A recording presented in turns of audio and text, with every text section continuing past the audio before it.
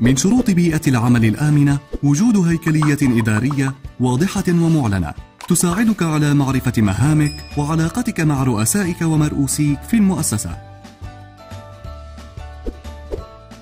ساهم لتخلي بيئة عملك آمنة